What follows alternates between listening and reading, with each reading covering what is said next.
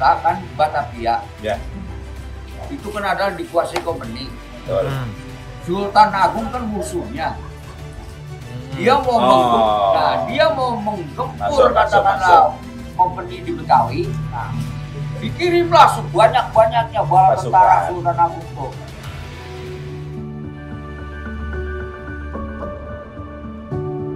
Kalau dulu mah yang kelihatan cuma ada pohon doang gitu. Oh pohon rengas, tapi Pohon daratan nggak ada. Nggak ada, nggak ada daratannya. Pohon rengas, kemudian ada pohon-pohon lingi gitu. Hmm. Jadi kalau emang di mana kelihatan ada pohon lingi, berarti di bawahnya itu rumput dangkal gitu, agak ini, agak ke atas. Sedimentasi itu itu apakah sudah dari mungkin 30 atau 40 tahun yang lalu kan gitu. Apalagi kayak pulau kecil mah karena apa itu Ya mungkin ada. pengerukan-pengerukan agak Ya. ditaikin lagi di situ Gitu. jadi nambah Ya. gede. Sebenarnya kita itu pengen gini. eh, kami sama Kang Daud, Kang Lala itu pengen ngangkat eh, apa setu inilah kan gitu sejarah. Jadi supaya nanti di, di, di apa namanya di Pop Darwis itu setu tujuh muara itu kita punya literasi.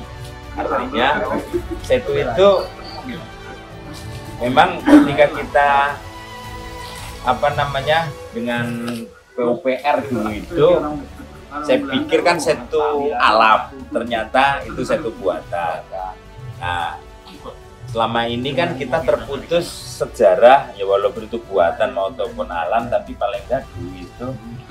Kenapa sih ini jadi nama Bojongkari jadi kenapa itu dinamakan setu tujuh muara? Nah, itu pengen kita gali yang seperti itu supaya nantinya tidak apa ya, anak cucu itu nggak kehilangan sejarah kan?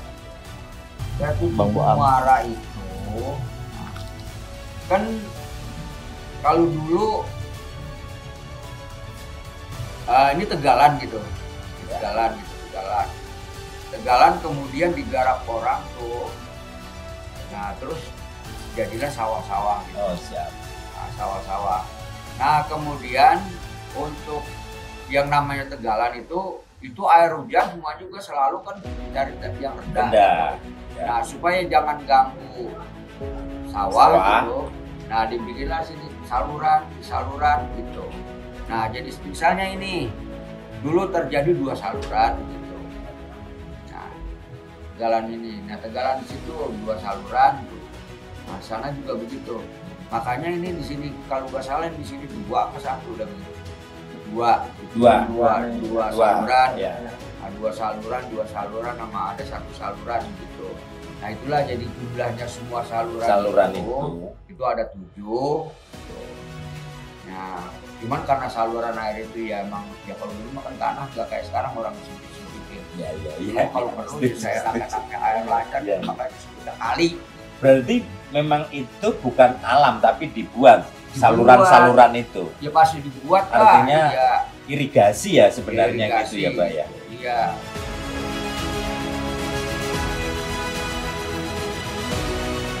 Bojong nah Bojong itu adalah tanah ya. Tanah yang menjolok.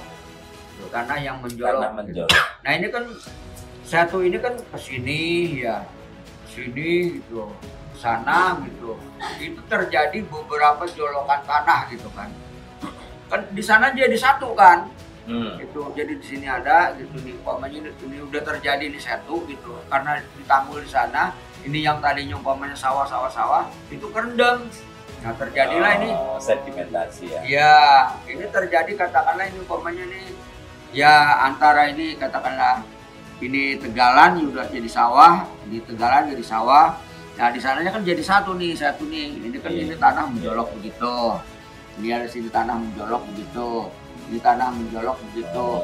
ini tanah yang menjolok inilah yang dinamakan pojong Berarti tanah yang diambil sama dua kali gitu ya. pojong gitu. Katakanlah kalau umpamanya di kita pelajaran IPS mah dulu umpamanya itu tanah yang menjolok ke laut itu ada yang namanya ujung ada yang namanya tanjung. Tanjung. Gitu. ya, oke. Kalau ujung agak lincus kalau tanjung kan agak bulat. Jadi katakanlah tanah yang agak oh, kayak Bojong itu.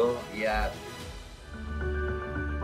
cuman ini katakanlah kan di sini terjadi beberapa bojong begitu ya bojong bojong nah di sini bojong mungkin ini yang agak besar bojongnya. Ya udahlah sarinya di sini. Oh, Sari. namanya bojong sari. Hari dari bojong-bojong yang udah ada nih. nah yang waktu pertama bahwa ini namanya bojong sari ya gitu. Itu apakah kesepakatan atau memang dikasih oleh orang tua dulu? Ya udah ini gue kasih nama bojong sari ya misalnya gitu enggak begini dulu mah begini sih kayaknya enggak enggak enggak disepakatin begitu kata jadi kayaknya di mana ada sesuatu yang bisa diciriin sama orang ya katakanlah orang pamanya apa diliwat situ apa pamanya dia mau menjabat ke situ nah di mana sih? Nah gitu. Katakanlah misalnya begini. Nah ini di sini si pamer terjadi katakanlah Nah, katakanlah di sini udah nyebrang ke sana. gitu. Nah, di situ ada tempat, katakanlah jembatan, begitu bikin jembatan, yang jembatan itu seada, seadanya, dari batang tirai, dari pohon tirai yang hidup, gitu. Nah, jadi kalau kalau dia Lewat. lewat begitu embel-embelan gitu kan. oh iya iya oh embel embel embel-embelan begitu. siap siap Nah, jadi itu enggak disepakati begitu, cuma diciriin begitu. Nah, embel iya, gitu ya gitu. Lu, lu jalan ke mana? Lu nyaba ke sini jalannya ke mana? Ciri-cirinya ke mana? Ya itu kembal, kembal mana nih ya? Berarti itu yang pengalaman dia mau disebut nama apa begitu? Spontan aja gitu. Iya, Ya, ya, jadi ya, spontan aja apa yang dia alami begitu. Nah begitu jadi dia sebut itulah yang itu. Jadi Gitu. jadi turun temurun lewat Ya. embel lewat embel ya udah Ah, lewat ya. embel ya pasti di luar sana Nah misalnya seperti pondok tuh ya pondok itu. Ya. Kampung pondok nih. Itu dulu kan orang dari pondok cabai tukang dagang dia mau ke mana gitu. Hmm. Kalau dia mau masar ke pasar Parung atau pasar Bo itu dia mondoknya di situ. Nah jadi cirinya tuh di mana lu nginepnya? Di mana ya? Mau disebut namanya apa begitu? Cuman yang dia inget di situ banyak orang mondok. Ya udah Iya. disebut mondok. Gitu. Jadi nggak dikonsepsi gimana. jadi karena kebiasaan Ya, sehari-hari biasanya sehari. terus Ya cuman ya, kelamaan kelamaan kelamaan kelamaan. Ya udah diresmikan aja begitu.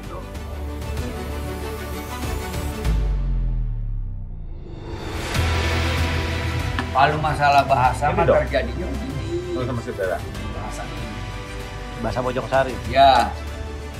Dulu Jakarta kan Batavia. Ya. Itu kan adalah dikuasai komunik. Betul. Sultan Agung kan musuhnya. Dia mau Oh. nah, dia mau menggempur katakanlah company di Betawi. Nah, dikirimlah sebanyak-banyaknya bala tentara Sultan Agung tuh. Bala tentara tuh. Dikepunglah Betawi. Nah, dari mulai Bekasi, Bo- Bogor, nih, bagian Bogor, Depok, terus Tangerang soalnya tuh. Itu orang Jawa dan terus tentara dari Jawa sempat berkeluarga segala macam itu tentara apa itu pasukan-pasukan begitu sempat juga katakanlah terjadi pesan-pesan berkeluarga bermasyarakat begitu nah itu orang Jawa semua nah makanya dari sini ke Parung Parung ke sana itu orang Sunda Hmm. dari Tangerang ke sana kan bahasanya Sunda Bekasi ke sana juga kan Sunda gitu nah itu yang ngelingkung itu bahasa adalah orang Jawa nah terjadilah perpau- pertautan bahasa Sunda bahasa Jawa bahasa Betawi Berarti banyak juga dari Jawa di sini. sini. Mantep, mantep, Mbak. Mantep.